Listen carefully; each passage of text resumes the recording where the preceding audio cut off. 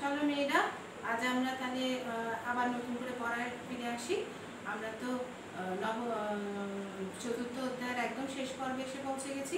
সমভূমি দিয়ে আমাদের পড়াটা শুরু হোক। আর আজকে পড়ার পর তোমরা পুরো চ্যাপ্টারটা ভালো করে পড়ো। পড়ার পরে কোথাও অসুবিধা হলে আমরা জানব শুরু করা যাক তাহলে আজকের অধ্যায়, সমভূমি বা প্লেন সমভূমি কাকে বলে আগে জানতে হবে? সমুদ্রপৃষ্ঠ থেকে অল্প উঁচু, অতি মৃদু ঢাল বিশিষ্ট বা সমতল কিংবা সামান্য তরঙ্গায়িত এবং সুবিস্তৃত ভূভাগকেই আমরা বলে থাকি সমভূমি। এর উচ্চতা মোটামুটিভাবে তিনশো মিটারের মতো হয়। আর এটা জানবে স্থলভাগের মধ্যে সমভূমির অধিকৃত অঞ্চলই ফিফটি থ্রি পারসেন্ট আমরা কতগুলো উদাহরণ এখানে দেখতে পাচ্ছি ছবির আকারে। ভারতের গাঙ্গেয় বদ্বীপ সমভূমি বা গঙ্গা ব্রহ্মপুত্র সমভূমি কিংবা ধরো এখানে ছবি দেখতে পাচ্ছি, ডান দিকের উপরে রয়েছে পাম প্রেরি পাম্পাস তৃণ অঞ্চল বা পাম্পাস সমভূমি অঞ্চল এবং নিচে রয়েছে প্রেরি তৃণ প্রেরি সমভূমি অঞ্চল। এই ছবিটাকে, ছবিগুলোকে সামনে রেখে আমরা আজ আপাতত সমভূমির বৈশিষ্ট্যগুলো জেনে নিই। সমভূমি সমুদ্রপৃষ্ঠের প্রায় একই সমতলে অবস্থিত, অর্থাৎ বললাম গড় উচ্চতা তিনশো মিটারের মতো। তাই তো? আচ্ছা এবারে এদের ঢাল সম্পর্কে একটা ধারণা পাই। অনেক মৃদু ঢাল যুক্ত হয়ে থাকে। গড় ঢাল প্রায় ধরে নিতে পারি প্রতি কিলোমিটারে পাঁচ মিটার। তাহলে বুঝতেই পারছ কি ধীরে ধীরে, অত্যন্ত ধীরে ধীরে ঢালু হয়ে সমুদ্র সমতলে মেশে। এদের বন্ধুরতা প্রায় নেই, উপরিভাগ সমতল। এবং কোথাও কোথাও সমভূমি অবশ্য তরঙ্গায়িত ভাব লক্ষ্য করা যায়। আপেক্ষিক উচ্চতা তার মানে খুব সামান্য। নদী, অববাহিকা বা সমুদ্র কিংবা হ্রদের উপকূলবর্তী অঞ্চলে দিগন্ত বিস্তৃত বিস্তীর্ণ এলাকা জুড়েই অবস্থান করে সমভূমি। আর বুঝতেই পারছ, ভূতাত্ত্বিকভাবে একটা নিচু, সুস্থিত স্থান যেখানে সাধারণভাবে নদী অধিকৃ, নদী কিংবা সমুদ্র কিংবা হ্রদের নরম মাটির স্তর জমা হতে থাকে এবং ওই সমতল এলাকা তৈরি হয়। সঞ্চয় কাজও কিন্তু এর একটা প্রধান ভূমিকা পালন করে। যদিও ভূ আলোড়ন, ক্ষয়, সঞ্চয় কাজ তিন ধরনের উপায়ই এখানে কার্যকরী হয়। সমভূমি গঠনে কিন্তু প্রাকৃতিক শক্তির সঞ্চয় কাজের প্রাধান্য সবচেয়ে বেশি পরিলক্ষিত হয়। তো এবার আমরা কয়েকটা উদাহরণ পাই। এই সামনের আগের ছবিগুলোর পাশাপাশি এখানে আরও দুটো ছবি পেলাম। খেয়াল করো, ডান দিকের ছবিটা হচ্ছে নীল অববাহিকা, তোমাদের পরিচিত ছবি। লেখা না হলেও তোমরা বুঝতে পারছ নীল নদী প্রবাহিত অঞ্চল, মাছের মতন দেখতে অববাহিকা বা সমভূমি অঞ্চল তৈরি হয়েছে আফ্রিকাতে। আর বাঁ দিকের ছবিটা হচ্ছে ইউরেশিয়ান সমভূমি। আচ্ছা এবারে দেখো আমরা কতগুলো ছবি পড়তে পড়তে জেনে নেব। যে সমভূমিকে কভাগে ভাগ করা যায়। সমভূমি মূলত উৎপত্তিগতভাবে তিনটি ভাগে বিভক্ত। যথারীতি এর আগেও আমরা দেখেছিলাম ভূগাঠনিক সমভূমি, ক্ষয়জাত সমভূমি, সঞ্চয়জাত সমভূমি। ভূগাঠনিক সমভূমি মূলত তিনটে ভাগে বিভক্ত। গঠনগত দিক থেকে বা স্বাভাবিকভাবে তৈরি হওয়া সমভূমি, উন্নত সমভূমি আর অবনত সমভূমি। গাঠনিকভাবে আমরা এই যে ছবিটা দেখতে পাচ্ছি, সেটা আমরা একটু ব্যাখ্যা করে নিই। এটা হচ্ছে রাশিয়ার উচ্চভূমি আর এটা হচ্ছে তৈরি হয়েছে ভূ আন্দোলনের প্রভাবে। শিলাস্তর ভূপৃষ্ঠের সঙ্গে প্রায় সমান্তরালভাবে বিন্যস্ত হয়ে স্বাভাবিকভাবেই এটা গড়ে উঠেছে। তাই এটা হচ্ছে গাঠনিক দিক থেকে গাঠন গাঠনিক সমভূমি বলতে পারি। এদের বৈশিষ্ট্য বললে পরে শিলাস্তর ভূপৃষ্ঠের সঙ্গে সমতল এবং ভূ আলোড়নের দ্বারা আপনা আপনিই উঠে পড়েছে। কিন্তু বয়সে অনেক প্রাচীন। গঠনগত দিক থেকে বা ভূগাঠনিক দিক থেকে দ্বিতীয় যে ভাগটার কথা তোমাদের বলছিলাম, সেটা হচ্ছে উন্নত সমভূমি। ভূ আলোড়নের ফলে সমুদ্রের অগভীর অংশ বা স্থলভাগের নিচু স্থান উত্থিত হয়ে যে সমভূমি গঠিত হয়, তাকে উন্নত সমভূমি বলি। এখানে আমরা উদাহরণ হিসাবে একটা ছবি তোমাদের সামনে রেখেছি, ভারতের মানচিত্র। তার মধ্যে যে কোস্টাল প্লেনটা আমরা পাচ্ছি সেটা হচ্ছে করমণ্ডল উপকূল যেটা দেখতে পাচ্ছি। পুলিকট লেক দেখতে পাচ্ছ তোমরা চোখে ছবিতে। ওই লেকের নিচের দিকের অংশ মানে মোটা, মোটামুটিভাবে বলতে পারি, গোদাবরী কৃষ্ণা নদী থেকে শুরু করে এই অঞ্চলটা বরাবর, এই অঞ্চলটা থেকে শুরু করে এটা হচ্ছে করমণ্ডল উপকূল। এই উপকূল অঞ্চলে হচ্ছে উন্নত সমভূমির উদাহরণ। আর একটা ইউরেশিয়ার স্টেপ সমভূমি অঞ্চল, এটাও কিন্তু এর উদাহরণ হতে পারে। এবার চলো অন্য ছবিতে যাই। তৃতীয় যে ভাগটার কথা তোমাদের বলব, সেটা হচ্ছে অবনত সমভূমি। এর উদাহরণ দেখো, ছবিতে দেখতে পাচ্ছ তুরানের নিম্নভূমি, যেটা রাশিয়ার কাস্পিয়ান সাগর ও তার সংলগ্ন এরিয়াতে দেখতে পাচ্ছি। এটা কীভাবে তৈরি হয়? মূলত ভূ আন্দোলনের প্রভাবে কোনো উঁচু স্থান যদি বসে গিয়ে সমভূমি তৈরি হয়, তাকে আমরা বলে থাকি অবনত সমভূমি। তো দেখতে পাচ্ছ কাস্পিয়ান সাগর এবং আরল সাগরের আশেপাশের জায়গা যেটা লাল রেখা দিয়ে দেখানো হয়েছে, এই জায়গাটা কিন্তু বসে যাওয়া জায়গা ভূ আন্দোলনের ফলে। কিন্তু নিচু জায়গা, তাই এটা হচ্ছে অবনত সমভূমি। চলো। দেখো তো ছবিটা দেখে, এই জায়গাটা পরিচিত নয়। যদিও লেখা রয়েছে শুশুনিয়া পাহাড়। তবে শুশুনিয়া পাহাড় আমাদের পড়ার বিষয় নয়। আমরা যেটা পড়ব আশেপাশের নিচু জায়গাটা। আমরা তো সমভূমি পড়ছি। তো চলো, এবার আমরা প্রাকৃতিক শক্তির দ্বারা কীভাবে ক্ষয়ের ফলে ভূমিরূপ সমভূমি তৈরি হয়েছে সেটা জানব। তাহলে ক্ষয়জাত সমভূমি বা ইরোশনাল প্লেন বললে আমরা কাদের বুঝি? না, বিভিন্ন প্রাকৃতিক শক্তির দ্বারা বহুদিন ধরে উঁচু জায়গা বা মালভূমি বা পার্বত্যভূমি ক্ষয়প্রাপ্ত হয়ে যে সমভূমি তৈরি হয়, তাকে আমরা বলি ক্ষয়জাত সমভূমি। এটাকেও আমরা বেশ কয়েকটা ভাগে ভাগ করতে পারি। প্রথম যে ভাগটা আমরা বলব ছবি অনুযায়ী, সেটা হচ্ছে সমপ্রায় ভূমি বা পেনি প্লেন মূলত আর্দ্র অঞ্চলে দীর্ঘ সুদীর্ঘকাল ধরে নদ নদীর ক্ষয়কাজের ফলে উঁচু প্রাচীন ভূভাগ, মৃদু ঢাল ও কিছুটা ঢেউ খেলানো প্রায় সমভূমিতে পরিণত হয়।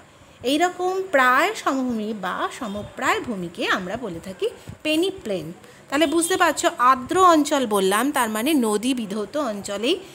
এই অঞ্চলটাতে দেখতে পাচ্ছ, আমরা জানি এখান থেকে অনেক নদী প্রবাহিত হয়, দামোদর কিংবা ধরো কংসাবতী, এই সমস্ত নদীগুলো এখান দিয়ে প্রবাহিত হয়েছে। এই সমস্ত নদীগুলো প্রবাহিত হওয়ার পর পাহাড়ি এই অঞ্চলটা, যেটা ছোটনাগপুর মালভূমিরই একটা খণ্ডিত অংশ, সেখান থেকে ক্ষয়প্রাপ্ত হয়েও উঁচু জায়গা হিসেবে এই শুশুনিয়া পাহাড় কিংবা আমরা দেখতে পাচ্ছি না এমন অনেক পাহাড়, অযোধ্যা পাহাড়, এগুলো কিন্তু উঁচু হয়ে রয়ে যাচ্ছে। যেহেতু অনেক পুরনো, তাই জন্য এগুলো উঁচু হয়ে রয়ে যাচ্ছে। কিন্তু বাদবাকি জায়গাটা প্লেন হয়ে গেছে। ওই অঞ্চলটা হচ্ছে আমাদের সমভূমি। ক্ষয়ের ফলে সৃষ্ট সমপ্রায় ভূমি কিন্তু এই উঁচু জায়গাগুলোকে বলি আমরা অনুচ্চ পাহাড় বা মোনাডনক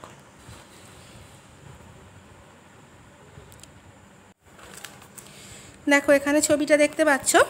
এটা হচ্ছে তরঙ্গ কর্তৃত সমভূমি বা ওয়েভ কাট প্লেন এগুলো কি কাকে কীভাবে তৈরি হয় না এটাও প্রাকৃতিক শক্তি সমুদ্র তরঙ্গের দ্বারা ক্ষয়প্রাপ্ত হয়ে ক্রমাগত বারে বারে আঘাত, সমুদ্রের জলের আঘাত পেয়ে পেয়ে তরঙ্গ কর্তৃত মঞ্চ রূপে তৈরি হয়। এখানে ছবিতে দেখতে পাচ্ছ কীরকম মঞ্চের মতো তৈরি হয়েছে বা প্ল্যাটফর্ম তৈরি হয়েছে।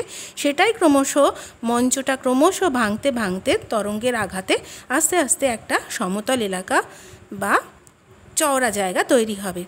এরকম উদাহরণ আমরা পাই মূলত নরওয়ে উপকূলভূমি অঞ্চলে। আমরা ডান দিকে যে ছবিটা দেখতে পাচ্ছি, সমুদ্রের জলটা প্রথমে ওই উঁচু উপকূলভূমিতে ধাক্কা খাচ্ছে। দ্বিতীয় ছবিতে দেখতে পাচ্ছ খেয়ে সমুদ্রের তরঙ্গের আঘাতে অনেকটা ভেতরের দিকে ঢুকে যাচ্ছে। আর তৃতীয় ছবিতে দেখতে পাচ্ছ চওড়া জায়গাটা ক্রমশ বেড়ে যাচ্ছে। তাহলে এই অঞ্চলটাও কিন্তু সমুদ্রপৃষ্ঠের সম উচ্চতা বিশিষ্ট জায়গা। একেবারে সমুদ্র উপকূলেই তৈরি হয় আর সমুদ্র এই প্রাকৃতিক শক্তির দরুনই ক্ষয়প্রাপ্ত হয়ে তৈরি হচ্ছে। দেখো, ভারতের পশ্চিম উপকূলবর্তী অঞ্চলের এই অঞ্চলটাও কিন্তু এইভাবেই তরঙ্গের আঘাতে ক্ষয়প্রাপ্ত হয়েই সমতল ভূমিটা তৈরি হয়েছে। তাহলে আমরা নরওয়ের উপকূলই শুধু নয়, ভারতের পশ্চিম উপকূলটাকেও কিন্তু এর উদাহরণ হিসাবে পেতে পারি, এই ধরনের ভাগের উদাহরণ হিসেবে পেতে পারি। এবার চলো আরও একটা ভাগ পড়ে নিই। ক্ষয় প্রায় ক্ষয়ের ফলে তৈরি হওয়া সমভূমি। সেটা হচ্ছে মরু সমপ্রায় ভূমি বা পেডিপ্লেন একটু আগে পড়লাম আমরা পড়লাম সমপ্রায় ভূমি বা পেনিপ্লেন। এবার আমরা পড়ছি পেডিপ্লেন। এই দুটো কিন্তু পার্থক্য খুব দরকারি। এগুলো কিন্তু তোমাদের পার্থক্যগুলো জানতে হবে। আগেরটাতে কি বললাম আর্দ্র অঞ্চলে সুদীর্ঘ কাল ধরে ক্ষয়ের ফলে একটা ঢেউ খেলানো, মৃদু ঢালযুক্ত সমভূমি তৈরি হয়। এটার ক্ষেত্রে কিন্তু বলব, মরু অঞ্চলে সুদীর্ঘ কাল ধরে বায়ুর ক্ষয়কার্যের ফলে সমগ্র মরুভূমি অঞ্চল জুড়ে শিলাচূর্ণের পাতলা আস্তরণযুক্ত প্রায় সমভূমি গড়ে ওঠে। এটাকে বলি আমরা পেডি প্লেন বুঝতে পেরেছ? এই অঞ্চলের উদাহরণ হিসেবে আমরা ছবিতে দেখতে পাচ্ছি আলজেরিয়ার রেগ এটা দেখতে পাচ্ছ। যদিও আলজেরিয়া শব্দটা পুরোটা দেখতে পাওয়া যাচ্ছে। আচ্ছা লিবিয়া সেরির কিংবা সাহারার হামাদা, এই ধরনের অঞ্চলের উদাহরণ আমরা পাই। এই অঞ্চলে কি কি বৈশিষ্ট্য পাই আমরা? শুষ্ক আর উষ্ণ মরু বা মরুপ্রায় জলবায়ুতে বায়ুর কাজ সম্পন্ন হয়। তাহলে বায়ু প্রাকৃতিক শক্তির দ্বারা যখন তৈরি হচ্ছে, ক্ষয়ের ফলে সৃষ্ট ভূমিরূপ সমভূমি সেটা হচ্ছে পেডি প্লেন। খেয়াল থাকবে তো? আচ্ছা এর আর কি বৈশিষ্ট্য পাই? না, ভূভাগ কিছুটা অবতল প্রকৃতির হয়, নিচু হয়। বালি কাঁকর নুড়ি, পাথরখণ্ড দ্বারা ঢাকা থাকে। ওক্ষেত্রে আমরা পলি দ্বারা ঢাকা থাকে আর এক্ষেত্রে দেখতে পাই নুড়ি কাঁকর পাথর বেষ্টিত হয়। কঠিন শিলাগুলো, গঠিত অঞ্চলগুলো অবশিষ্ট পাহাড় রূপে অবস্থান করে। দেখতেই পাচ্ছি একটা, হামাদার পাশে দেখো একটা পাথরের বড় খণ্ড দেখতে পাচ্ছি। পাহাড়টা, পাহাড়ের টুকরের অংশ। পুরো ছবি তো আনা সম্ভব হয়নি। এই অংশটা এনসেল বার্জ বলতে পারি। আমরা একটু আগে পড়লাম সমপ্রায় ভূমিতে যে উঁচু জায়গা, শুশুনিয়া পাহাড়ের ছবিটাতে দেখেছিলাম। সেখানে উঁচু ঢিবিগুলোকে বলছি আমরা। অনুচ্চ পাহাড় বা মোনাড নক সেটা পেনি প্লেনের ক্ষেত্রে হয়। আর পেডি প্লেনের ক্ষেত্রে অবশিষ্ট পাহাড়গুলোকে বলে থাকি আমরা এনসেল বার্জ। সেগুলোও কিন্তু মোনাডনকের মতোই বিক্ষিপ্তভাবে অবস্থান করে। সমুদ্রপৃষ্ঠ থেকে অনেক উঁচুতে অবস্থিত হয়। আগেরটা দেখলাম, সমুদ্রপৃষ্ঠের কাছাকাছি চলে আসে আর এক্ষেত্রে দেখছি, এক্ষেত্রে তৈরি হয় যেটা, সমুদ্রপৃষ্ঠ থেকে অনেকটা উঁচুতে অবস্থান করে। মরু মরুপ্রায় অঞ্চলে যখন সুদীর্ঘকাল ধরে বায়ু কিংবা জল, বায়ু এবং জলধারা মিলিতভাবে ক্ষয়কার্য করে পর্বতের ঢাল বরাবর যে মৃদু ঢালযুক্ত এবং উন্মুক্ত ভূমিশিলা মানে পেরেন্ট রক, গঠিত যে সমভূমি গড়ে ওঠে, সেটাকে বলি আমরা পেডিমেন্ট। আফ্রিকার সাহারা মরুভূমিতেও দেখতে পাই। আফ্রিকার আটলাস পর্বতের পাদদেশীয় সমভূমি এইভাবেই তৈরি হয়েছে। এখানে অনেক এনসিলবার্জও দেখতে পাওয়া যাচ্ছে। এনসিলবার্জের ঢালের উঁচু অংশ পাদদেশীয় ঢালের উঁচু অংশে অবস্থান করে। আর এটা বায়ু এবং জলধারার মিলিত কাজের ফলে তৈরি হয়। অনেক বড় বড় শিলাচূর্ণ দ্বারা ঢাকা থাকে। আর কিছু কিছু কোনো কোনো স্থানে প্লায়া, হ্রদ, পৃষ্ঠ থেকে উচ্চতা অনেক বেশি এরকম তৈরি হয়। প্লায়া, হ্রদ মানে হচ্ছে মরু অঞ্চলে যখন কিছু নিচু জায়গা তৈরি হয়। যেহেতু এখানে বায়ু শুধু নয়, বায়ুর সাথে সাথে জলধারাও কাজ করে। সেই ছবিতে এই ছবিতে আমরা সেটা বুঝতে পারব না, কারণ সেই ছবি আমি সংগ্রহ করতে পারিনি। তোমরা কিন্তু যখন বই থেকে পড়বে, ছবি কিন্তু বা ডায়াগ্রাম কিন্তু প্রতিটির দরকার হবে। বায়ু এবং জলধারার মিলিত কাজের দরুনই কিন্তু তৈরি হচ্ছে পেডিমেন্ট বা পাদদেশীয় সমভূমি। এবারে দেখো একটা ছবি দেখাচ্ছি তোমাদের, এটা হচ্ছে কানাডিয়ান শিল্ড অঞ্চল। এটা মূলত হিমবাহ এই প্রাকৃতিক শক্তির ক্ষয়কাজের দরুন তৈরি হয়েছে, তাই এটাকে আমরা বলতে পারি গ্লেশিয়াল ইরোশনাল প্লেন। মহাদেশীয় হিমবাহের প্রবল ঘর্ষণজনিত ক্ষয়ের দ্বারা অসমতল ভূভাগ ক্ষয়প্রাপ্ত হয়ে নিচু সমতল ভূমিতে পরিণত হলে তাকে আমরা হিমবাহর ক্ষয়কাজের ফলে তৈরি হওয়া সমভূমি বলতে পারি। কানাডিয়ান শিল্ড অঞ্চলের কিছুটা কিছুটা জায়গা কিন্তু এরই উদাহরণ হিসেবে আমরা পাই। মেরু সংলগ্ন অঞ্চলে একসময় মহাদেশীয় হিমবাহ ঢাকা ছিল। সেটা তোমরা জানো, যখন গ্লেশিয়াল পিরিয়ড চলছিল। হিমবাহের ক্ষয়কাজের ক্ষয়কাজ তার দ্বারা ক্ষয়কাজের দ্বারাই এটা গড়ে ওঠে। আর এই জন্য ক্ষয়কাজ, যখন হিমবাহ ক্রমশ ইন্টারগ্লেশিয়াল পিরিয়ডে আস্তে আস্তে গলতে শুরু করে, তখন আস্তে আস্তে এদের ঘর্ষণে ওই জায়গাটা বেশ কিছুটা নিচু হয়ে যায়। উচ্চতা তার মানে এদের খুবই কম। শিলাস্তরে ওই হিমবাহের ঘর্ষণের জন্য আঁচড় কাটা বা খাঁজ কাটা অনেক দাগ দেখতে পাওয়া যায়। তার থেকেও বুঝতে পারা যায় এটা হিমবাহের ঘর্ষণজনিত কারণে বা ক্ষয়ের কারণেই তৈরি হয়েছে। বহু গোলাকার পাহাড় কিংবা চওড়া উন্মুক্ত উপত্যকাও এখানে তৈরি হতে পারে। ক্লিয়ার হলো? এর পরের ভাগে চলে যাই। চুনাপাথর গঠিত যে অঞ্চল, সেই সমস্ত পৃথিবীতে এরকম চুনাপাথর গঠিত অঞ্চল প্রচুর আছে। সেখানে কিন্তু একটা আবহবিকার রাসায়নিক বিক্রিয়া বা রাসায়নিক একটা প্রক্রিয়া আছে যেটা আমরা এখনও পড়ি, পড়িনি, পড়ব পরের চ্যাপ্টারে কার্বনেশন বা জলের দ্রবণের ফলে, দ্রবণ প্রক্রিয়াও সেখানে কাজ করে। সে রাসায়নিক দুটো প্রক্রিয়া কার্বনেশন আর সলিউশন এই ক্ষয়ের ফলে যখন সমভূমি গঠিত হয়, তখন তাকে আমরা কার্স টোপোগ্রাফি বা কার্স প্লেন বা কার্স সমভূমি বলতে পারি।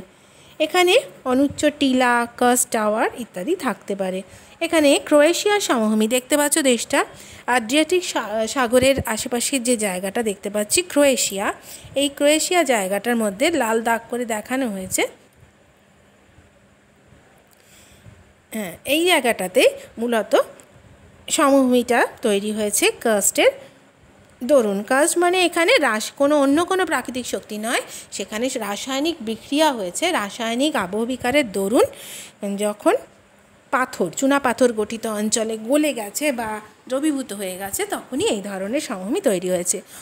তো কাস্ট টোপোগ্রাফির ছবি আমরা এইভাবে দেখতে পাই। এই ছবিতে দেখো, এরকম যেখানে দ্রবণ কার্য বেশি করে হচ্ছে বা কার্বনেশন প্রসেস বেশি করে হচ্ছে, সেখানে আস্তে আস্তে কালো কালো জায়গাগুলোতে গুহা তৈরি হয়ে যাচ্ছে। এটা আস্তে আস্তে শিলাটা, এটা পুরো চুনাপাথর গঠিত অঞ্চল। এই চুনাপাথর গঠিত অঞ্চলে আস্তে আস্তে সিঙ্ক হোল জলের ফোঁটা পড়তে পড়তে সিঙ্ক হোল তারপরে সোয়ালো হোল তারপরে আস্তে আস্তে ডোলাইন, উভালা, পলজি এবং পোনর তৈরি হয়। সুরঙ্গ পথে সরু যে দাগটা দেখতে পাচ্ছি, সুরঙ্গ পথ তৈরি হয়। এই সুরঙ্গ পথ ধরে নিয়ে আবার ভেতর দিকে জল যেই প্রবেশ করে, পুরো চুনাপাথর গঠিত অঞ্চলেই দেখতে পাওয়া যায়। লাল কালো হয়ে গেছে যে জায়গাটা, সেটা হচ্ছে গুহা তৈরি হওয়ার একটা সময় চলছে এবং আস্তে আস্তে দেখা যাবে এই জায়গাটা পুরোটাই অদৃশ্য হয়ে গিয়ে পুরো গহ্বর তৈরি হয়েছে। কিন্তু আমরা পড়ছি কিন্তু শুধুমাত্র কাস্ট সমভূমি। তার মানে এটা আস্তে আস্তে একটা সময় সমভূমিতে পরিণত হতে পারে। এবার দেখো সমভূমির তৃতীয় যে ভাগটা, সঞ্চয়জাত সমভূমি তাকে বলি বা ডিপোজিশনাল প্লেন বিভিন্ন প্রাকৃতিক শক্তির দ্বারা সুদীর্ঘকাল ধরে যখন ভূপৃষ্ঠের অবনমিত স্থান বা ক্ষয়প্রাপ্ত অংশ, অবনমিত হয়ে বা ক্ষয়প্রাপ্ত হয়ে পলি, বালি, কাদা তার উপরে এসে জমা পড়ে কিংবা গ্রাবরেখা মানে হিমবাহের ক্ষয়জাত পদার্থ, তাকে আমরা গ্রাবরেখা বা মোরেন বলি। সেই গ্রাবরেখা, লোয়েস মানে বালি, স্থানান্তরিত মৃত্তিকা, লাভা ইত্যাদি সঞ্চিত হয়ে যে সমভূমি তৈরি হয়, সঞ্চয়ের ফলে তৈরি হচ্ছে বলে তাদের নামকরণ করি আমরা, সঞ্চয়জাত সমভূমি। এটাও মোটামুটি আমরা ভাবতে পারি সাত প্রকার আছে। প্রথম যেটা আমরা পড়ব সেটা হচ্ছে নদী গঠিত যে সমতল ভূমি, তাকে আমরা এক কথা বলতে পারি পলল সমভূমি বা অ্যালুভিয়াল প্লেন। এবং তাদের অনেকগুলো ভাগ দেখতে পাই। যেমন ধরো প্রথমেই আমরা যেটা পড়ব সেটা হচ্ছে, আমরা ছবিতে দেখতে পাচ্ছি তরাই ডুয়ার্সের অঞ্চল। এটা হচ্ছে পর্বতের পাদদেশে নদী বা জলধারা বাহিত বোল্ডার নুড়ি, কাঁকর, বালি, পলি ইত্যাদি সঞ্চিত হয়ে সমভূমি গড়ে উঠলে তখন তাকে আমরা বলি পিডমন্ট সমভূমি। পর্বতের পাদদেশীয় অঞ্চলকে আমরা বলে থাকি পিডমন্ট। তাই জন্য এটা হচ্ছে তরাই ডুয়ার্স অঞ্চল হচ্ছে পর্বত পাদদেশীয় অঞ্চল। আমরা তো পশ্চিমবঙ্গ পড়ছি এবং পশ্চিমবঙ্গের মধ্যেই আমরা দেখেছি তরাই ডুয়ার্স সমতল ভূমির একটা সমতল এলাকা। কিন্তু সমতল হলেও দার্জিলিং পার্বত্য অঞ্চলের ঢাল ছেড়ে দিয়ে নিচু অঞ্চলটা যেই তৈরি হয়েছে, সেখানে ঢাল ক্রমান্বয়ে কমে যাওয়ার কারণে ওপর থেকে বা নদীগুলো যেগুলো বাহিত হয়েছে, তারা নুড়ি কাঁকড় এনে ওই নিচু ঢালের মধ্যে জমা করে সমতল ভূমিটা তৈরি করেছে। তাই ওটার উদাহরণ আমরা পেতে পারি পিডমন সমভূমি। এবার আমরা দেখি, এবারে আমরা দ্বিতীয় ভাগটায় যাই, নদীর ঘটনের গঠনের ফলে, সেটা হচ্ছে তোমার পলল সমভূমি। এটা হচ্ছে আসাম ব্রহ্মপুত্র অঞ্চলের একটা সমতল এলাকা এবং এটা হচ্ছে নদী অববাহিকার নিচু অংশগুলিতে নদীর জলস্রোত বাহিত হয়ে পলি, কাদা, বালি, কাঁকড়, নুড়ি এসব সঞ্চিত ভরাট হয়ে যে বিস্তীর্ণ উর্বর সমতল এলাকা তৈরি হতে পারে তাকেই আমরা পলল সমভূমি বলি। যে কোনো নদীর ক্ষেত্রেই সেটা সম্ভব। আমরা এখানে একটা নদীকে দেখতে পাচ্ছি। সেটা হচ্ছে আস ব্রহ্মপুত্র নদী, বয়ে এসছে এবং আসাম ব্রহ্মপুত্র উপত্যকা অঞ্চল তৈরি করেছে। দেখতে পাচ্ছ তোমরা এই জায়গাটা। এটা কিন্তু খুব সংকীর্ণ, কিন্তু তাহলেও এটা নিচু জায়গা, দুপাশে পাহাড়। এটা জানবে পলল সমভূমির মধ্যে যেখানে নতুন পলি বলছে, পড়ছে। নদীতে সবসময় বাহিত হচ্ছে এবং পলি ফেলছে। যেখানে নতুন পলি পড়ে সেই অঞ্চলকে আমরা বলে থাকি খাদার। খাদারে যেহেতু নতুন পলি পড়ে, বুঝতেই পারছ, সেখানে কৃষিকাজের মাত্রা ভালো হয়, উর্বরতার মাত্রা মাটিতে ভালো থাকে বলে। কিন্তু যেখানে অনেক অনেক দিন আগে বলি ফেলেছে বা একটু পুরনো হয়ে গেছে, সেটা হচ্ছে অনুর্বর হয়ে যায়। কেননা চাষ, তার চাষযোগ্যতা অনেকটা কমে যায়। সেই রকম অনুর্বর পলভূমিকে আমরা বলে থাকি ভাঙর। ভাগীরথী নদীর ক্ষেত্রেও আমরা দেখতে পাই, এটা আমরা ব্রহ্মপুত্র ছবি দেখলেও আমরা জানি, ভাগীরথী নদীর পূর্বের অংশ খাদার এবং পশ্চিমাংশের যে অঞ্চলটা, সেটা হচ্ছে ভাঙর। এখানে দীর্ঘকাল ধরে নদীবাহিত পদার্থ সঞ্চিত হয়ে। একটা সমগ্র অববাহিকা অঞ্চল জুড়ে এই রকম কৃষি সমৃদ্ধ বা উর্বর অঞ্চল তৈরি হতে পারে। এরপরে চলে যাই আমরা অন্য একটা সমতল ভূমি। আচ্ছা এই ছবিটা দিয়েই আমরা বিশ্লেষণ করতে পারি অন্য একটা ভাগ। আমরা তো একটু আগে বললামই যে কোনো নদীর ক্ষেত্রেই পলল পড়লে পরেই যে সমতল এলাকা তৈরি হয় সেটাকেই পলল সমভূমি বলে। তো গঙ্গা গঙ্গা ব্রহ্মপুত্রের পাশাপাশি আমরা এখানে এই ছবিটা যেটা তোমাদের সামনে রয়েছে স্ক্রিনে সেই ছবিটা আসাম ব্রহ্মপুত্র অঞ্চলের সমতল ভূমি এটাও কিন্তু পলল গঠিত হতে পারে। কিন্তু এর একটা বিশেষ বিশেষত্ব আছে, সেটা হচ্ছে ফ্লাড প্লেন তৈরি হচ্ছে, বন্যা কবলিত হয়ে তবে হচ্ছে। অর্থাৎ নদী যেহেতু একটু আগে বললাম নদীর দুপাশে, এই অঞ্চল, এই অঞ্চলে ব্রহ্মপুত্রের দুপাশে খারাপ পার বিশিষ্ট, উঁচু অঞ্চল বা পাহাড়ি অঞ্চল রয়েছে। ফলে এই জায়গাটা খুব সংকীর্ণ। নদী এখানে মধ্যগতিতে প্রবাহিত হচ্ছে। মধ্যগতি কিংবা নিম্নগতিতে বন্যার জলে বন্যার যে, বন্যার ফলে নদীতে জলস্রোতের সঙ্গে বাহিত পলি, বালি, কাদার পরিমাণ এই গতিপথের দুপাশে যদি বা মোহনাতেও যদি সঞ্চিত হয়ে যে অতি মৃদু ঢালযুক্ত বৈচিত্র্যহীন উর্বর সমভূমি সৃষ্টি করছে, সেটা মূলত প্লাবনের ফলেই তৈরি হচ্ছে। তাই জন্য এটাকে আমরা বলতে পারি প্লাবন সমভূমি আমরা ভারতের মধ্য কিংবা নিম্ন গঙ্গা সমভূমিতেও যেরকমের উদাহরণ পাই, আবার ব্রহ্মপুত্র উপত্যকা যেটা ছবিতে পাচ্ছ সেটাও কিন্তু এর উদাহরণ হতে পারে। একটু আগে ছবিতে পেয়েছিলে তোমরা নিম্ন নীল নদের অববাহিকা কিংবা মিশরে যেটা রয়েছে কিংবা হোয়াংহ সমভূমি, সেটাও কিন্তু এর অন্তর্ভুক্ত হতে পারে। এই প্লাবন সমভূমির অন্তর্ভুক্ত হতে পারে। এবার চলে যাক। আচ্ছা একটা প্রধান বৈশিষ্ট্যের কথা বলে আমাদের এক্ষেত্রে বলে দিই। এই ধরনের সমভূমি তৈরি হলে অনেক জলা, যেহেতু নিচু জায়গা জলাভূমি থাকতে পারে অসক্ষুর আকৃতির হ্রদ তৈরি হতে পারে, ভূমির ঢাল অত্যন্ত কম এবং নদী এই অঞ্চলে বেশ আঁকা বাঁকা পথে প্রবাহিত হয়, যাকে আমরা বলে থাকি ভূগোলের ভাষায় মেন্ডারিং এর এর পরিভাগটা বৈচিত্র্যহীন বা একঘেয়ে সমতল প্রকৃতির হয়ে থাকে। ওয়াঙ্গ নদীর সমভূমি দেখতে পাচ্ছ, এটাও কিন্তু তোমাদের প্লাবন সমভূমির উদাহরণ হতে পারে। আচ্ছা এছাড়াও এই অঞ্চলটা আমরা আরও একটা উদাহরণ হিসাবে পেতে পারি। আচ্ছা এবারে এই ছবিতে চলে আসি। এই ছবিটা দেখো, এটা হচ্ছে উপকূলীয় সমভূমির উদাহরণ হিসেবে আমরা পেতে পারি। এটা হচ্ছে মেক্সিকো উপসাগর, মাঝখানে নীল বেগুনি রঙের যে জায়গাটা দেখতে পাচ্ছ, এটা হচ্ছে মেক্সিকো উপসাগর। আর সবুজ যে রঙটা দেখতে পাচ্ছি, ওই জায়গাটা হচ্ছে সমতল এলাকা। ছবিটা এরকম দেখাচ্ছে কারণ এটা হচ্ছে স্যাটেলাইট ইমেজ, তোমরা বুঝতেই পারছ। আর তোমরা তো ম্যাপের চ্যাপ্টার এখনও পড়োনি, স্যাটেলাইটের চ্যাপ্টার যখন পড়ব তখন আমরা বুঝতে পারব বিষয়টা কেন এরকম হয়, স্যাটেলাইটের রঙের বদল আসে। সেই জন্য এখানে ছবিটা এরকম দেখাচ্ছে। তো জানি আমরা কোস্টাল প্লেন বা উপকূলীয় সমভূমি কাকে বলে। প্রাকৃতিক শক্তির ক্ষয় ও সঞ্চয় কাজ এবং ভূ আলোড়নের মিলিত প্রভাবে যখন সমুদ্র উপকূলবর্তী অঞ্চল বরাবর সংকীর্ণ ও মৃদু ঢাল বিশিষ্ট সমভূমি গড়ে ওঠে, তখনই তাকে আমরা বলতে পারি উপকূলীয় সমভূমি। এখানে আমরা ভারতের ক্ষেত্রে ছবি দেখেছি, ভারতের পূর্ব উপকূল, পশ্চিম উপকূলের সমভূমি, তাকেও আমরা উপকূলীয় সমভূমির উদাহরণ পেতে পারি। আটলান্টিক মহাসাগরের উপকূলবর্তী অঞ্চল কিংবা আমাদের যে ছবিটা আমরা পাচ্ছি মেক্সিকো উপসাগরের ধারে গড়ে ওঠা সমভূমি, এই জায়গাটাও কিন্তু উপকূলীয় সমভূমির প্রকৃষ্ট উদাহরণ হিসেবে পাই। এই ঢাল অত্যন্ত ঢাল, মৃদু ঢাল বিশিষ্ট হয় সমুদ্রতলে মিশে যায়, সংকীর্ণও হতে পারে, আবার প্রশস্তও হতে পারে, এটার কোনো ভ্যারিয়েশন হতেই পারে। কিন্তু কোনো কোনো ক্ষেত্রে আবার জলাভূমি লেগুন আমাদের পশ্চিম ভারতে পশ্চিম উপকূলেই দেখতে পাই লেগুন আছে প্রচুর, লেগুন বা উপহ্রদ আর কোনো কোনো ক্ষেত্রে বালিয়ারই দেখা যেতে পারে সমুদ্র তীরবর্তী অঞ্চল হওয়ার কারণে। বা এই অঞ্চলে বালি লবণ মিশ্রিত মাটি দ্বারা ঢাকা থাকে। কেন? লবণ বা মাটি থাকে, বা মাটি তো থাকতেই পারে, কিন্তু লবণ বা বালি থাকে কারণ সমুদ্র তীরবর্তী অঞ্চল হওয়ার কারণে। এই ধরনের উপকূলবর্তী অঞ্চল বলে সেখানে সমুদ্রের প্রভাবে কিছু লবণ মাটি, লবণ বা বালি মাটির সাথে মিশে যেতে পারে।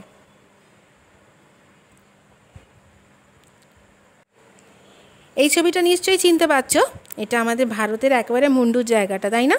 কাশ্মীর উপত্যকা অঞ্চল। এই অঞ্চলটাতে আমরা কীরকম সমভূমি পাই? তোমরা জানলে অবাক হবে, কাশ্মীর যেখানে আমরা আমরা ভূস্বর্গের অঞ্চল বলি, ভারতের ভূস্বর্গ বলে থাকি বা পৃথিবীর এই একটা উল্লেখযোগ্য জায়গা যেখানে মানুষে অনেক বেড়াতে যায় এবং খুব লোভনীয় জায়গা। সেই অঞ্চলটা কিন্তু আসলে প্রথমে উৎপত্তিগতভাবে একটা হ্রদ ছিল। হ্রদে মিলিত নদী ক্ষয় ক্ষয়জাত পদার্থ সঞ্চয় করে সঞ্চিত হয়ে কালক্রমে হ্রদ ভরাট হয়ে যে নিচু সমতল এলাকা তৈরি হয় তাকেই আমরা নামকরণ করি হ্রদ সমভূমি তো এই হ্রদ সমভূমি বা ল্যাকাস্ট্রিন প্লেন। তো আমরা এখানে কাশ্মীর উপত্যকা ভারতের ক্ষেত্রে দেখতে পাই। পশ্চিমবঙ্গে তাল সমভূমি এরকমই কিছু হ্রদ। তাল মানে হচ্ছে নিচু জলা সেখানে হ্রদ না হলেও নিচু জলা অঞ্চলেও কিছু কিছু জায়গায় পলি জমতে জমতে আস্তে আস্তে সমতল ভূমি তৈরি হয়। কানাডার ম্যানিটোবা কিংবা যুক্তরাষ্ট্রের গ্রেট বেসিন এরিয়া আর ভারতের কাশ্মীর উপত্যকা তো রয়েছেই, এগুলো সবই হচ্ছে হ্রদ সমভূমির উদাহরণ। বড় হ্রদের অবশিষ্টাংশ রূপে অসংখ্য ছোট ছোট হ্রদ বা নদী থাকে। ছোট ছোট নদী এই হ্রদে এসে মিশতে পারে। সমুদ্র সমতলে বা সমুদ্রপৃষ্ঠ থেকে উঁচু অবস্থানে অবস্থান করে। যেমন সমুদ্র উপকূলবর্তী উপকূলীয় সমতল ভূমিতে দেখি একদম সমুদ্রের কাছে বলে সমুদ্রপৃষ্ঠ বরাবর হয়ে যায় বা নিচু হয়, কিন্তু এই সমভূমিগুলো অনেকটা উঁচু থাকে। হিমবাহ বাহিত গ্রাবরেখা বা মোরেন, বললাম তোমাদের হিমবাহ যেগুলো ক্ষয় করে নিয়ে আসে তাদের বোল গ্রাবরেখা বলে, বা বোল্ডার ক্লে বোল্ডার ক্লেও হচ্ছে বাহিত এক ধরনের উপাদান। তোমরা ক্লাস টেনে উঠে এই সম্পর্কে আরও ভালো জানবে। এগুলো হচ্ছে সঞ্চিত পদ, হিমবাহের ক্ষয় ক্ষয়ের ফলে কিছু উপাদান নিয়ে আসে, সঞ্চয় করে। সেগুলো হচ্ছে যখন বড় বড় পাথরকুচি বা নুড়ি কাঁকড়ের মতন হয়, সেগুলো হচ্ছে মোরেন বা গ্রাবরেখা আর বোল্ডার ক্লে আরও ফাইন কোয়ালিটি। সেগুলো সবই পর্বতের ঢালে ও পাদদেশে নিম্নভূমিতে জমতে থাকে, জমাতে থাকে এবং সেটার মাধ্যমে যে সমতল ভূমি তৈরি হয়, সেটাই হচ্ছে গ্লেশিয়াল ডিপোজিশনাল প্লেন বা হিমবাহের সঞ্চয় কাজের দরুন তৈরি হওয়া সমভূমি। এখানে দেখো ছবিতে দেখতে পাচ্ছ প্রেরি। প্রেরি সমতল ভূমি উদাহরণ এর মধ্যে একটা উদাহরণ। পাশাপাশি আমরা এই ছবিটাও পাই। পাম্পাস, এটাও কিন্তু হিমবাহের গঠন সঞ্চয়ের ফলেই তৈরি হয়েছে এই সমতল ভূমি।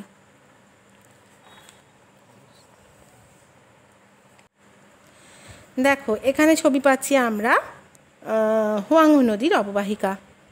এইটা কীভাবে তৈরি হয়েছে সেটা আমাদের জানতে খুব ইচ্ছা করে, তাই তো? এটাকে বলি আমরা লোয়েস সমভূমি। মরু অঞ্চল থেকে শুষ্ক লোয়েস কণা মানে লোয়েস কথার মানেই হচ্ছে সূক্ষ্ম মৃত্তিকা, স্থানান্তরিত মৃত্তিকা। সূক্ষ্ম, স্থানান্তরিত মৃত্তিকা বা কণা বায়ু দ্বারা বহু দূরে বাহিত হয়ে যখন কোনো নিম্নভূমিতে এসে জমা হয়ে যে সমতল ভূমি তৈরি হয় তাকে আমরা বলে থাকি লোয়েস সমভূমি। তো উত্তর চীনে আমরা হুয়াংহো নদীর অববাহিকা অঞ্চল এরকমই দেখতে পাই। এই অঞ্চলটা আসলে নদ পাশে থাকা কুয়েন্দুন পার্বত্য অঞ্চল থেকে যে সমস্ত কুয়েনলুন পার্বত্য অঞ্চলের না, তার মধ্য এশিয়া থেকে উড়ে আসা সূক্ষ্ম সূক্ষ্ম বালিকণা যখন এসে কুয়েন্দুন পার্বত্য অঞ্চলে ধাক্কা খেয়ে আস্তে আস্তে এই লোয়ের সম হুয়াঙ্গ নদী অববাহিকার আশেপাশের জায়গাগুলোতে ছড়িয়ে ক্রমশ উঁচু হতে থাকে সমতল ভূমিটা। তার ফলে এটা তৈরি হয়েছে। পৃথিবীতে প্রথম এই ধরনের সমভূমি এখানেই দেখতে পাওয়া গিয়েছিল। তাই জন্য আর যেখানে যেখানে এই ধরনের সমভূমি দেখতে পাওয়া গেছে, সেখানেই, সেখানেও কিন্তু এই লোয়েস কথাটা নামকরণ করে লোয়েস সমভূমি বলা হচ্ছে। উত্তর চীনের পাশাপাশি আমরা আমেরিকা যুক্তরাষ্ট্রের, রাষ্ট্রের কানসাস, নেব্রাস্কার, অ্যাডোব সমভূমি কিংবা মধ্য ইউরোপের লিমন সমভূমি এই ধরনের উদাহরণ পেতে পারি। এই সমভূমির উদাহরণ হিসেবে বলতে পারি। এই সমভূমির বৈশিষ্ট্য হচ্ছে বায়ুবাহিত হলুদ কিংবা ধূসর রঙের খনিজ সমৃদ্ধ সূক্ষ্ম লোয়েস পদার্থ আবৃত থাকবে আর বায়ু প্রবাহের দিকে ক্রমশ বিস্তার লাভ করতে থাকবে। তার মানে যে দিকে, যে দিক থেকে যে দিকে প্রবাহিত হয়ে যাবে, সেই দিকে ক্রমশ উঁচু হতে থাকবে। কারণ বায়ুটা যেদিকে প্রবাহিত হয়ে যাবে, সেখানটা ক্রমশ ভারী ভারী কণাগুলোকে আগে ফেলে উঁচু হয়ে যাবে। বায়ুর বহন ও সঞ্চয় কাজ দ্বারাই মরুভূমি থেকে দূরে গড়ে ওঠে। অগ্নুৎপাতের ফলে যখন ম্যাগমা ভূপৃষ্ঠে নির্গত হয়ে বিস্তীর্ণ অঞ্চল জুড়ে ছড়িয়ে পড়ে এবং আনুভূমিক লাভা, আনুভূমিকভাবে লাভাস্তর ছড়িয়ে পড়ে যে সমতল, স্বল্প উচ্চতার সমতল ভূমি তৈরি হয়, তাকে আমরা বলে থাকি লাভা সমভূমি। আমরা গুজরাটের এই অঞ্চলে দেখতে পাচ্ছি, সবুজ রঙের জায়গাটা দেখতে পাচ্ছি, এটা মালব সমভূমি।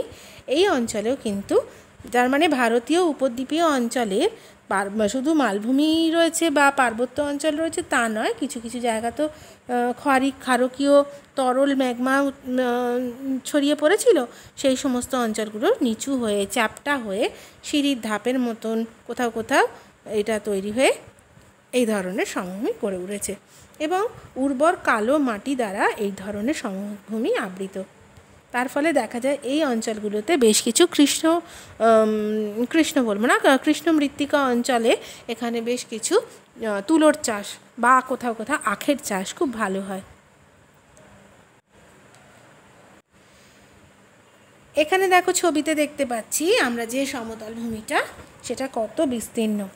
এটা হচ্ছে মরু কিংবা মরুপ্রায় অঞ্চলে পর্বতের পাদদেশীয় নিচু অংশে বায়ু ও জলধারা এদের মাধ্যমে বাহিত নুড়ি, কাঁকড়, বালি সঞ্চিত হয়ে পলল শঙ্কু পরস্পর জুড়ে গিয়ে যে মৃদু ঢালযুক্ত সমতল ভূমি করে ওঠে তাকে আমরা বাজাদা সমভূমি বা বাজাদা প্লেন বলি। এখানে আফ্রিকার সাহারা পর্বতের একটা অংশ দেখানো হয়েছে। এটা হচ্ছে নিচে বাজাদা সমভূমি তৈরি হয়েছে। দেখতে পাচ্ছ নিশ্চয়ই ছবিটাতে দুটো গাড়ি দেখতে পাচ্ছ। ওই দুটো গাড়ি কত ছোট্ট দেখতে পাওয়া যাচ্ছে। তার মানে বুঝতে পারছ কতটা বিস্তীর্ণ এলাকা জুড়ে পাহাড়ের নিচে তৈরি হচ্ছে। মরু পর্বতের পেরিমেন্টের নিচে যখন এই অংশ তৈরি হয় তখন এটা মোটামুটি খুব কম ঢালযুক্ত এবং উত্তল প্রকৃতির হয়। এখানে কিন্তু অনেক প্লায়ারত দেখতে পাওয়া যায়। এই জন্য এটাকে আমরা, এটা এই এই ভাগটাকে বলছি আমরা বাজাদা সমভূমি। তাহলে আমরা পেলাম কি? ভূ সঞ্চয়ের ফলেও গঠিত যে সমস্ত সমতল ভূমি হয়, তাদেরকে সাতটি, শেষের সাতটি ভাগে ভাগ করলাম। যেমন বললাম কি কি? একটা হলো বদ্বীপ পলল সমভূমি পিডমন সমভূমি, প্লাবন সমভূমি, বদ্বীপ সমভূমি এগুলো হলো নদীর কাজের ফলে। নদী প্রাকৃতিক শক্তির জমানো পলি যারা তৈরি হচ্ছে। উপকূলীয় সমভূমি যেখানে তৈরি হচ্ছে, সমুদ্রের ভূমিকাও রয়েছে। আবার নদীর ভূমিকাও কিছু কিছু রয়েছে। হ্রদ সমভূমি, সেখানে হ্রদের উপরে নদীবাহিত পলি জমে তৈরি হচ্ছে। গ্লেশিয়াল ডিপোজিশনাল প্লেন, যেখানে হিমবাহ, তার বাহিত পদার্থ নুড়ি কাঁকড় কিংবা গ্রাবণ, গ্রাবরেখা মোড়েন ইত্যাদি দিয়ে তৈরি হচ্ছে। লোয়ের সমভূমি যেখানে বায়ু বায়ু প্রাকৃতিক শক্তির দরুন বায়ুর কণা দিয়ে তৈরি বালির কণা দিয়ে তৈরি হচ্ছে। লাভা সমভূমি যেখানে লাভা অগ্নুদ্গিরণের মাধ্যমে ক্ষারকীয় নরল লাভা চড়ে গিয়ে তৈরি হচ্ছে। আর এটা পেলাম আমরা লাস্ট ছবিটা মরু মরুপ্রায় অঞ্চলে, যেখানে বায়ু এবং জল মিলিত প্রাকৃতিক দুই শাখা শক্তির দরুন তৈরি হওয়া সমতল ভূমি তাহলে আজ আমরা যে ছবি, যে এতগুলো ছবির মাধ্যমে পড়লাম, কারণ এই চ্যাপ্টারটা তোমাদের সামনে ছবি থাকলে পরে ক্লাসরুমে আমরা এই ছবিগুলো সচরাচর পাই না, কিন্তু যে ছবিগুলো আমি তোমাদের সামনে রাখলাম, সেই ছবিগুলো সামনে থেকে তোমাদের পড়ার একটু সুবিধা হবে। তোমরা বইটা ভালো করে পড়ো। আর আর বইয়ের মধ্যে যে অনুশীলনীতে যে প্রশ্নগুলো রয়েছে, সেগুলো একবার চোখে দেখে রেখো বা অভ্যাস করো। আজ তবে এই পর্যন্ত, পরের দিন নতুন চ্যাপ্টার নিয়ে আসব।